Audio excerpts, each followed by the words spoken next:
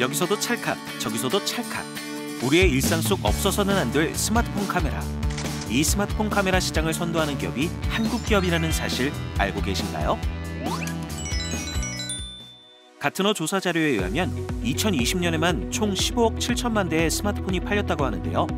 스마트폰, 태블릿 등 모바일 기기의 시장의 성장과 관련해 주목할 시장이 있습니다. 바로 카메라 모듈 시장입니다. 하지만 카메라 모듈은 쉽게 만들 수 있는 제품이 아닙니다. 여러 장의 렌즈와 빠른 focusing 장치, 고화소 이미지 센서를 콩알 하나 들어갈 좁은 공간에 맞춰 새롭게 설계하고 각 부품을 한 치의 어긋남 없이 정확하게 결합시켜야 하는 초정밀 모바일 부품이기 때문이죠. 그래서 과거 모바일에 탑재된 카메라는 디지털 카메라에 비해 화소, 화질, 화각 등 여러 가지 부분에 있어 성능이 떨어진다는 평가를 받아왔습니다. 하지만 지금은 다릅니다. 모바일 카메라 성능이 디지털 카메라 안 부러울 정도로 비약적인 발전을 해왔기 때문이죠. 그렇다면 모바일 카메라 모듈은 어떻게 발전해 왔을까요? 초기 모바일 기기에는 렌즈 하나로 구성된 싱글 카메라가 탑재되었습니다. 당시 폰카 화소수는 30만 개 정도였는데 선명한 화질의 사진을 촬영하기엔 턱없이 부족했죠. 그래서 화소수 향상을 위한 지속적인 연구와 기술 개발을 시도했습니다.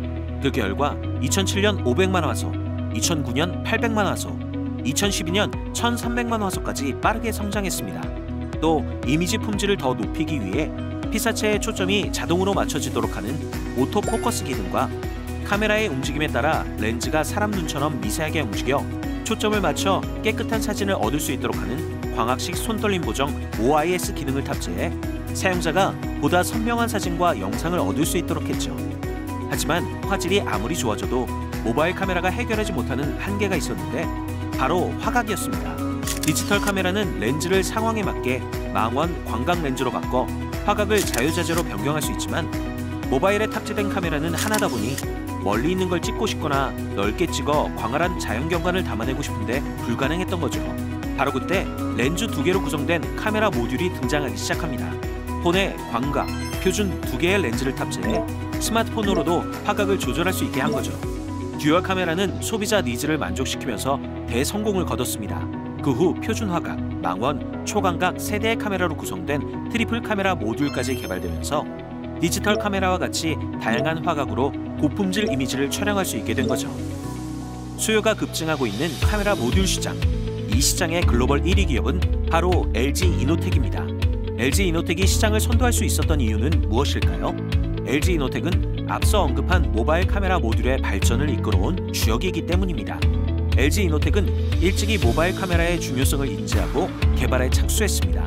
그 결과 2005년 50원짜리 동전 크기의 세계 최소형 200만 화소의 오토포커스 기능까지 갖춘 카메라 모듈 개발에 성공해냈고 2013년에는 세계 최초로 1300만 화소의 손떨림 보정 기능을 탑재한 카메라 모듈을 개발해 프리미엄 폰 카메라들을 제치고 글로벌 평가 업체인 폰 아레나로부터 품질 평가 1위로 선정되었습니다.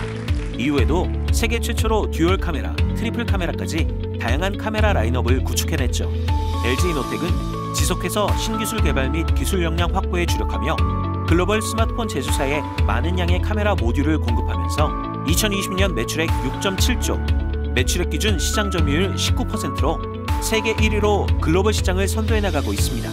2020년 이노텍이 만든 카메라 모듈이 무려 4억 7,817만 개라고 하니 그 파워를 가늠할 수 있겠죠? LG 이노텍이 주목받고 있는 이유는 이뿐만이 아닙니다. LG 이노텍은 경쟁사 대비 장거리까지 감지 가능한 TOF 기술을 보유하고 있는데요. TOF 모듈은 피사체를 향해 발사한 빛이 반사되어 돌아오는 시간으로 거리를 계산해 공간을 입체감 있게 인식할 수 있게 하고 피사체의 움직임을 파악할 수 있게 하는 최첨단 부품입니다. 이 모듈을 스마트폰이나 웨어러블 기기 등에 장착하면 운동 동작, 움직임 등의 세밀한 측정이 가능하고 헬스케어 분야에서는 환자의 자세 및 체형 측정 등에 사용할 수 있어 여러 분야에 도움이 될 것으로 기대하고 있죠. LG 이노텍의 카메라 모듈에 대한 혁신 기술력과 완벽한 품질을 높이 평가한 마이크로소프트는 최근 LG 이노텍과 MOU를 체결하기도 했습니다.